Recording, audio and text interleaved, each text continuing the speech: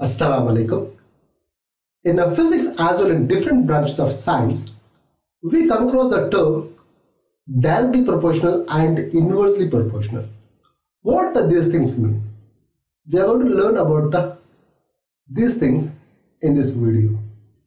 To do so, I have taken two expressions. If you look at them, you may find uh, in these two expressions, the left hand side is C. and the symbol beside this term x is also C. but uh, they are read in a different way here it is read as directly proportional whereas in this expression it is read as inversely proportional why is it so? Let's find out. Here this expression is read as x is directly proportional to y.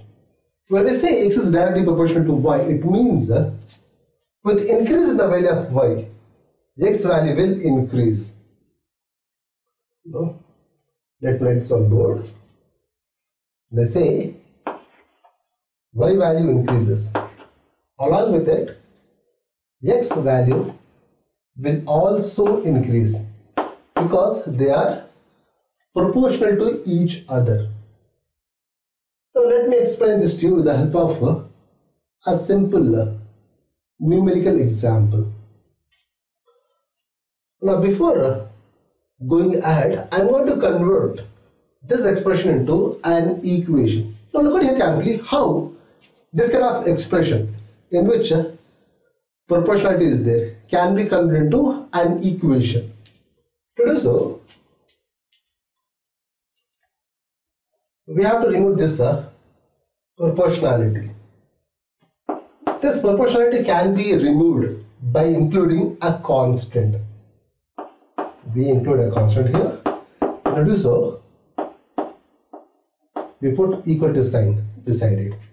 Now, this expression has turned into an equation. We know an expression in which there is an equal to sign and uh, both the side of which if a certain term is present means we call it as an equation. Now, to make my work more easy, I replace this constant Actually, this constant is called as proportionality constant. I replace this proportionality constant with a symbol. Let it be k. I take it as k. Now, this is a, an equation. I box this for convenience. Okay. Now, I am going to take the value of y to be equal to 2 then I'll substitute that one here. When I do so the value of x will be equal to the product of k with the 2 so it means x equals to 2k okay? Now I'm going to increase the value of y. I take it as 4 When I take the value of y equals to 4, x value is going to increase, isn't it? x will become equal to 4 times of k, where k is the proportionality constant. So it can be written as x equals to 4k.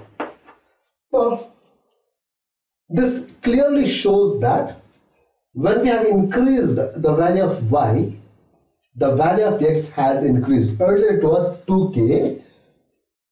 When the value of y has increased to 4, the value of x has also increased. So, we can conclude that x is directly proportional to y. Now let's come to this side. Here, this expression is read as x is inversely proportional to y. Why is it so? Let me tell you. here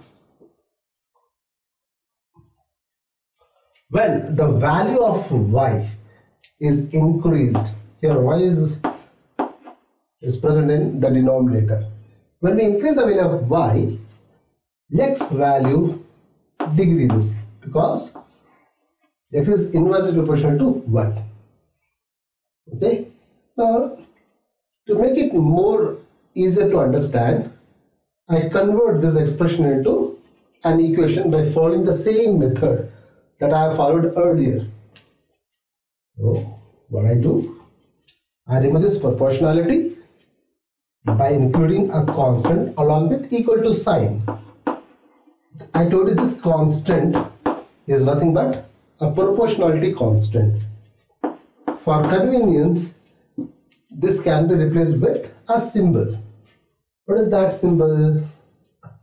Again, I'm going to use the similar symbol that is K k multiplied with 1 upon y. So this can be written as x equal to k upon y. I box this. This is the, the final equation we have obtained. Okay. Now, to make it uh, more understandable, I use a few numerical example. I'll take the same numerical example that I have used here. I take the value of y as 2 that I substitute in this equation. So what I will get if I do so, what will be the value of x? x will be equal to k upon 2. In the place of y I have written 2. Okay. So I'll make it uh, more simple. This can be written as x equals to half multiplied with k.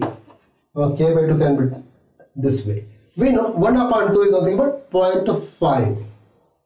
So, here x becomes equal to 0.5 k. Now, I box this for convenience and clarity okay clear now when the y is taken to be equal to 2 the value of x is obtained equal to 0.5 k. Now i'm going to increase the value of y. Let's find out what happened. If i do so what i take? Y equal to 4 on doing so, the value of x becomes equal to k upon 4. This can be written as x equals to 1 upon 4 multiplied with k. Here 1 upon 4 is something but 0.25. So x is equal to 0 to 5k. Now, I box this final expression for better visibility. Now, if you compare these two equations, the values of x, you may find that with increase in the value of y, the value of x has reduced. So here when we increase the value of y, the value of x decreases. So this clearly explains inversely proportional. Inversely proportional. Whereas in the first case, when we increase the, the value of y, the value of x also increases. This uh, explains direct proportion. I hope uh, the concept is uh, clear to you. If you have any kind of doubt related to the topic, kindly put your question in the comment section. Thanks for watching.